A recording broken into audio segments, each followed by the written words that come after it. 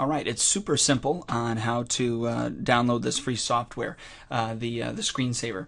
We're going to uh, go over the the download link, and we'll just um, we're going to click that once. The left click on your mouse, so we're going to click that. A new page in your browser will open, and then what you'll see is you'll see this pop up here. All you want to do is click Save File. Now it's going to take a little while to save. It is a um, uh, it, it is a big file.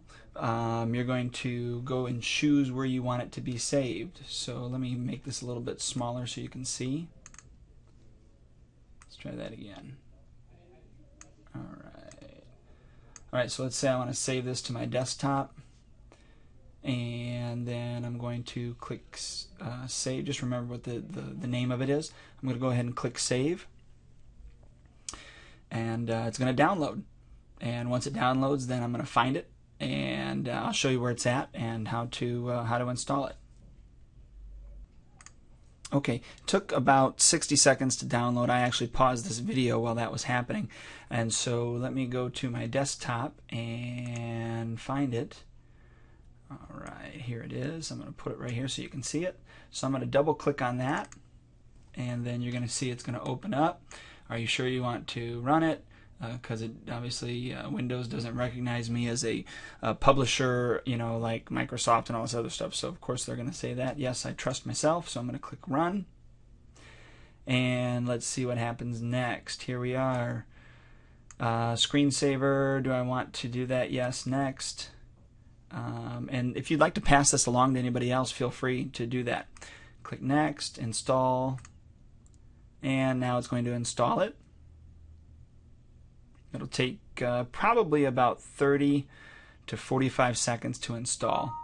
Nope, I guess not. Here we go. Click Finish. And so we're almost done here.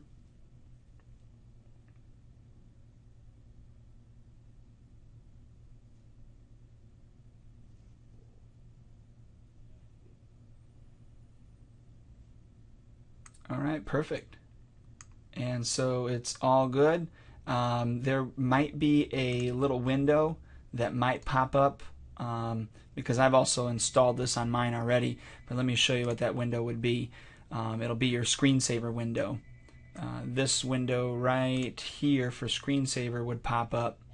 Um, I've already uh, put it on here as my uh, screensaver. So actually what you would see next is this will pop up Ah, there it is. I guess it was still coming up. I didn't give it enough time. There it is.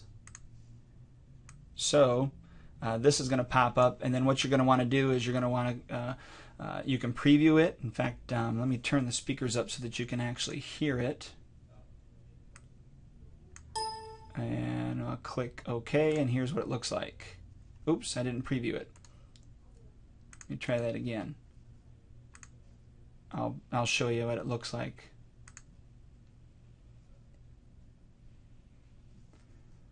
And click preview.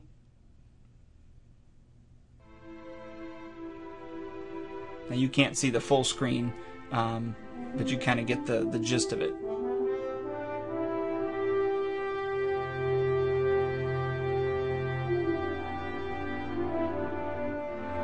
But anyways, that's the that's the gist of it, and that's how you download it, and you're good to go. If for some reason you want to inst uninstall it, you can do that as well. Uh, you can just go back into your programs and uninstall it. If you ever just want to click on it to have it start, you can just click down here to start it, and it'll start automatically. All right, that's how you do it. And I hope you enjoy it.